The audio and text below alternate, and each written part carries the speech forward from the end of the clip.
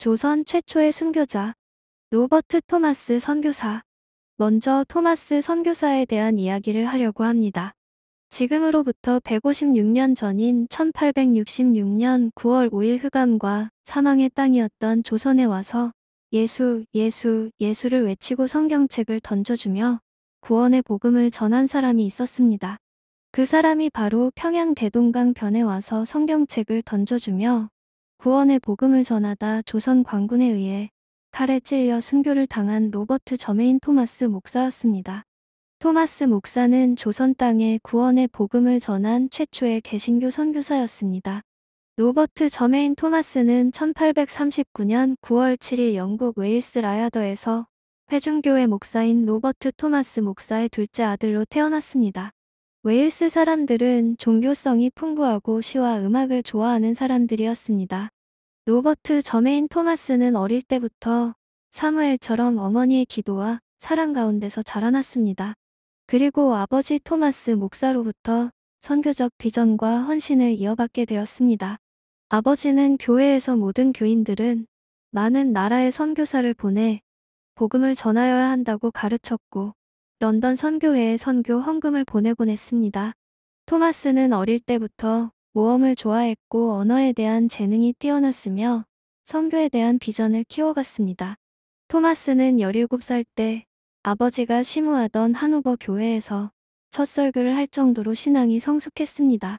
노방전도도 했고 지역 교회 초청을 받아 설교도 했습니다.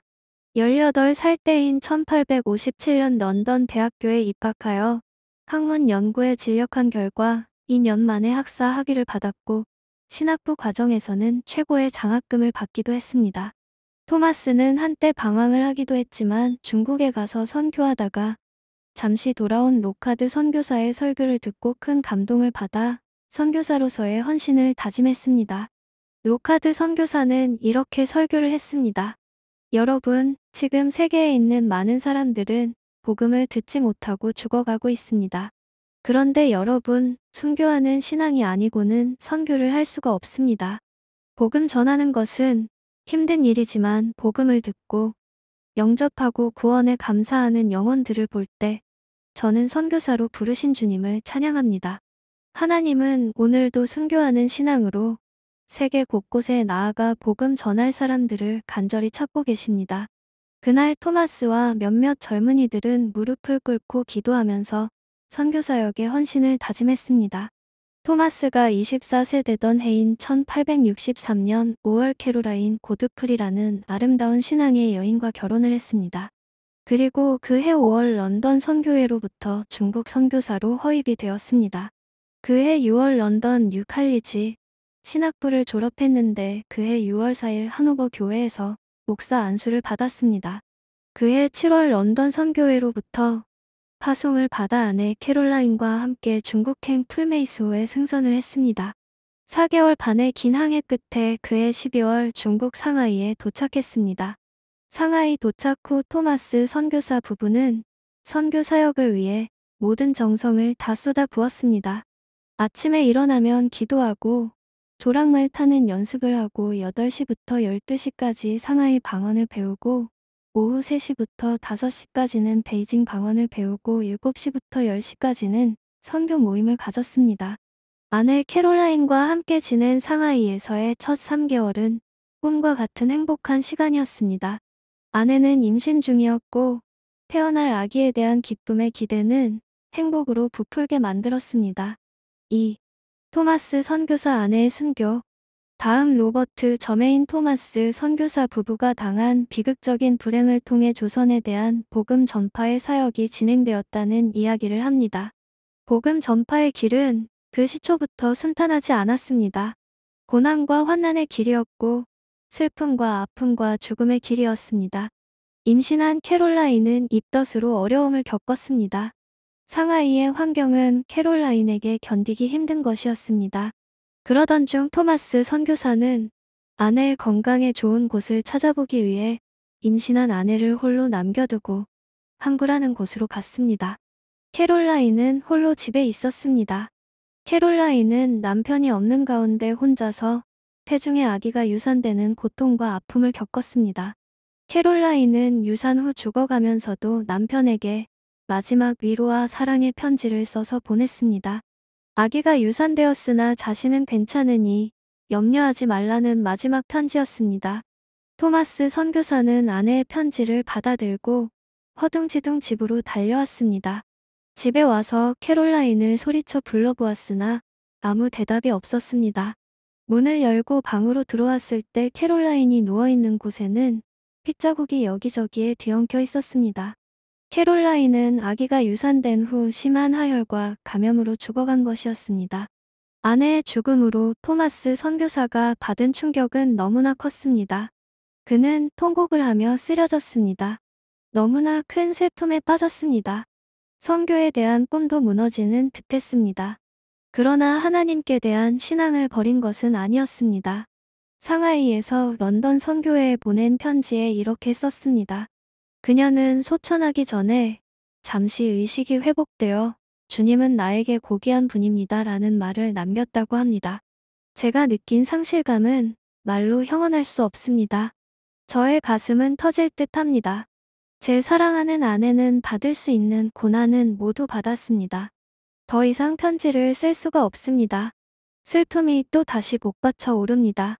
저는 지금 감당할 수 없는 슬픔으로 인하여 제 마음을 걷잡기가 어렵습니다. 어찌하였든 그녀의 평화롭고 고통 없는 죽음에 대하여 주님께 감사드립니다. 주신 자도 여호와시오 취하신 자도 여호와시니 여호와의 이름이 찬송을 받으실지니라. 1864년 4월 5일 당신의 신실한 로버트 저메인 토마스 토마스 선교사는 아내의 시신을 상하이 외국인 묘지에 묻고 비싼 값을 치르면서 정성스럽게 만든 묘비를 세웠습니다. 아내를 잃은 슬픔에 잠겨있던 토마스 선교사에게 아내의 아버지가 딸이 선교지에서 죽었다는 소식을 듣고 충격을 받아 몇 달 후 세상을 떠났다는 슬픈 소식까지 접했습니다. 토마스 선교사는 삼중 슬픔과 불행과 비극에 쌓였습니다. 저는 토마스 선교사가 당한 비극의 이야기를 읽으면서 25세의 토마스 선교사가 선교지에서 아내와 태아와 장인까지 잃는 삼중 슬픔과 불행을 당한 일이 결코 무의미한 일도 아니었고 결코 우연한 일도 아니었다고 생각합니다. 그 삼중 슬픔과 아픔과 절망과 불행은 앞으로 그가 조선에 가서 목숨을 걸고 십자가의 복음을 전하게 하는 준비 과정이었고 훈련 과정이었다고 생각합니다. 죽음을 경험한 사람은 죽음을 두려워하지 않는 이상한 힘을 지니게 되고 슬픔과 아픔과 절망을 경험한 사람은 슬픔과 아픔과 절망을 두려워하지 않는 이상한 힘을 지니게 된다고 생각합니다. 3. 토마스 선교사의 순교 그러면 이제부터 로버트 저메인 토마스 선교사의 순교의 피로 조선의 복음 전파의 사역이 이루어지게 되었다는 이야기를 합니다. 토마스 선교사는 1865년 즉푸를 방문한 조선 천주교인들을 만나게 되었습니다. 그리고 그들로부터 조선 천주교인들이 순환을 당하고 참수를 당하고 있다는 소식을 듣게 되었습니다. 이 소식을 들은 토마스 선교사는 조선에 가서 복음을 전하고자 하는 뜨거운 마음으로 불붙게 되었습니다. 죽음은 죽음과 서로 통하고 슬픔은 슬픔과 서로 통하는 것이 있다고 생각합니다. 조선에서 예수를 믿는 것 때문에 수많은 사람들이 죽어가며 순교의 피를 흘리고 있다는 천주교인의 슬픈 소식이 토마스 선교사의 가슴을 울리고 그의 내리에서 사라지지 않았습니다. 그래 이제부터 나의 선교지는 조선이다. 죽어가는 불쌍한 조선 사람들에게 죽음으로 복음을 전해야겠어. 토마스 선교사의 마음은 조선에 대한 선교의 열정으로 타오르기 시작했습니다. 바로 그때 스코틀랜드 성서공회에 속한 윌리암슨 선교사가 그를 찾아왔습니다. 토마스, 당신이 아내를 잃은 것이 얼마나 큰 아픔인지 알고 있습니다. 그러나 이제는 아내를 잃은 아픔을 떨쳐버릴 때가 되었다고 생각합니다. 토마스, 당신은 중국어와 러시아어, 몽골어 등의 언어에 능통한데 하나님께서 왜 당신에게 이러한 언어의 재능을 주셨을 것 같소? 복음 전하는 것에 사용하도록 함이 아니겠소? 토마스는 이렇게 응답했습니다.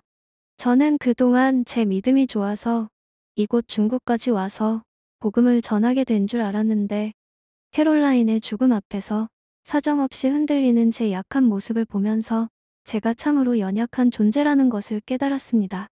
선교는 자식을 무덤에 묻는 아픔 없이는 감당하기 어렵다고 하셨던 분들의 이야기가 이제 실감이 납니다.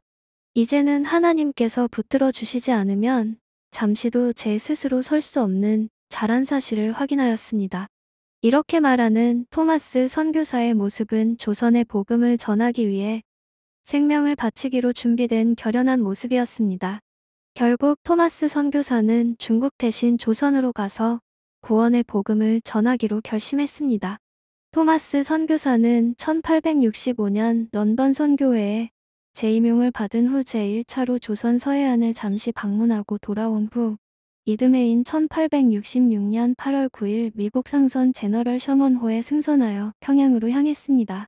이는 미국대로 조선과 무역을 하려고 왔습니다.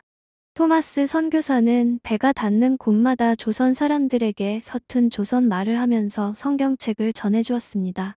하나님께서 조선을 사랑하십니다. 자, 이걸 받으세요. 성경책입니다. 이때 나누어 준 중국어 성경책이 500여 권이나 되었다고 합니다. 제너럴 셔먼호가 북상하여 평양 망병대까지 다다르자 조선 군과의 팽팽한 긴장이 고조되었습니다. 조선에서는 그 배가 닿는 곳마다 문정관을 파견하여 목적지와 항해의 목적을 물었습니다.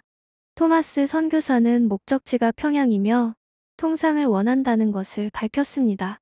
조선군은 경계를 하면서도 아주 적대적이지는 않았습니다.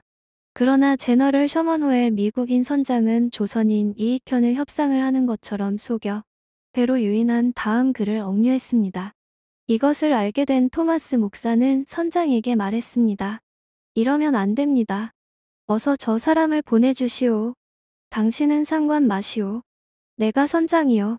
정말 조선과 교역을 원하신다면 이렇게 하면 안 됩니다. 두고 보시오 저들은 곧 내 말을 듣고 통상을 요구해 올 것이오.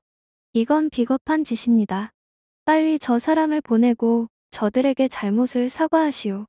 그러나 미국인 선장은 토마스 목사의 말을 들으려고 하지 않았습니다. 이익현의 억류로 화가 난 조선의 군사들은 소극적이던 자세를 버리고 총공격을 감행하였습니다. 제너럴 셔먼호의 선장은 조선 군사들의 공격이 거세지자 퇴각할 것을 명하였습니다. 그러나 홍수로 불어났던 물이 줄어들어 배가 제대로 움직이지 않았습니다. 그때 쿵 하는 소리와 함께 배는 모래에 좌초되었습니다. 이 순간을 놓칠 리 없던 조선의 군사들은 일제히 총공격을 감행하였습니다. 이 순간 토마스 목사는 예수, 예수, 예수 믿으시오.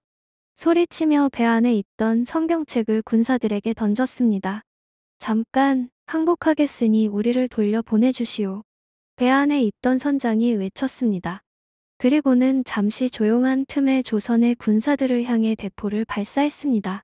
선장의 비열한 처사에 화가 난 조선 군사들이 일제히 횃불을 싣고 제너럴 셔먼호에 접근하여 불화살을 쏘아대었습니다. 배에 떨어진 불화살로 제너럴 셔먼호는 불타기 시작했습니다. 배에 있던 사람들은 놀라 강으로 뛰어내렸고 목숨을 건져 무트로 나오는 사람들은 성난 조선 군사들에 의하여 모두 죽음을 면치 못하였습니다. 그리하여 대동강은 순식간에 피로 물들었습니다. 배가 활활 타오르고 있는 와중에서도 토마스 선교사는 한 손에 백기를 들고는 예수, 예수, 예수를 외치면서 성경책을 던졌습니다.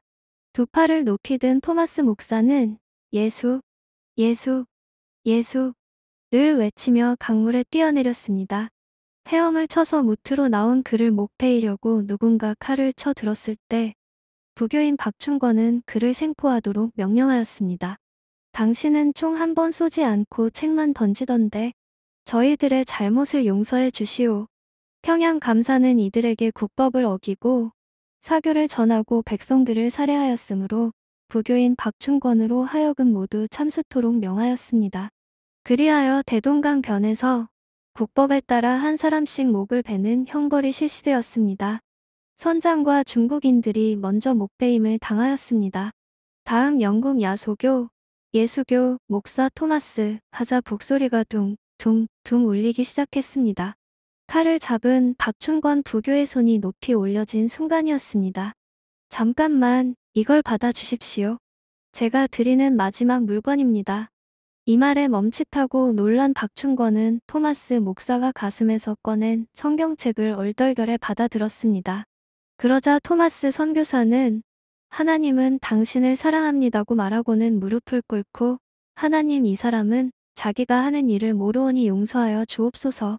이 일로 조선 땅에 뿌린 복음이 열매로 맺게 하여 주옵소서라고 기도를 드렸습니다. 박충권은 칼을 빼 토마스 선교사를 찔렀습니다. 1866년 9월 5일 27세의 젊은 나이로 영국 웨일스 출신 선교사 토마스 목사는 대동강의 한사정 백사장에서 순교의 피를 뿌렸습니다. 언더우드와 마펜젤러 선교사가 인천항에 상륙하기 19년 전의 일이었습니다. 토마스 선교사가 전해준 성경책을 읽고 예수님을 믿게 된 사람들이 상당수 있었다고 합니다. 그를 찔러 죽였던 박충권은 나중에 회개하고 예수님을 믿고 장로가 되었다고 합니다.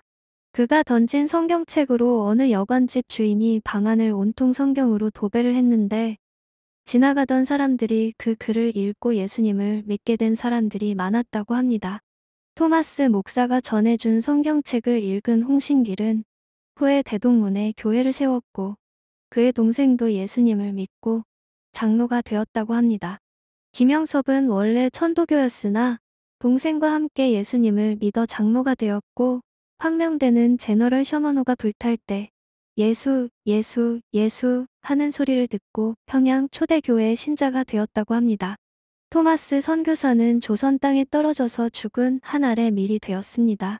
그리고 조선의 교회가 세워지는 초석이 되었습니다. 1866년 토마스 선교사의 순교가 없었다면 1882년 조미통상조약도 없었을 것이고 1884년 알렌 의사의 조선 입국도 1885년 언더우드와 아펜젤러 선교사의 인천 상륙도 없었을 것입니다. 조선의 구원의 복음이 어떻게 전해지기 시작했다고요? 27세의 꽃다운 나이에 평양 대동강에 와서 예수, 예수, 예수를 외치며 순교의 제물이 된 토마스 선교사에 의해서 십자가와 구원의 복음이 조선 땅에 전해지기 시작했습니다. 우리는 순교의 제물이 된 토마스 목사님에게 그리고 선교지에서 외롭게 죽어간 그의 아내 캐롤라인 사모님에게 무한한 감사를 드립니다. 그리고 그를 조선 땅에 보낸 그의 부모님과 영국 웨일스 사람들에게 무한한 감사를 보냅니다. 토마스 선교사의 순교 신앙을 기리며 주님께서 하신 말씀 몇 곳을 찾아서 읽습니다. 한 알의 밀이 땅에 떨어져 죽지 아니하면 한 알 그대로 있고 죽으면 많은 열매를 맺느니라. 요 12시 24분. 아비나 어미를 나보다 사랑하는 자는 내게 합당치 아니하고 아들이나 딸을 나보다 더 사랑하는 자도 내게 합당치 아니하고 또 자기 십자가를 지고 나를 좇지 않는 자도 내게 합당치 아니하니라. 자기 목숨을 얻는 자는 잃을 것이요. 나를 위하여 자기 목숨을 잃는 자는 얻으리라. 마 10시 37분 마이너스 39. 너희가 땅끝까지 이르러 내 증인이 되리라. 행 1대 8. 참조로 감사한 일. 2023년 현재 토마스 목사님을 파송한 영국교회 담임 목사님은 저와 함께 교회를 섬겼던 한국인 목사님입니다.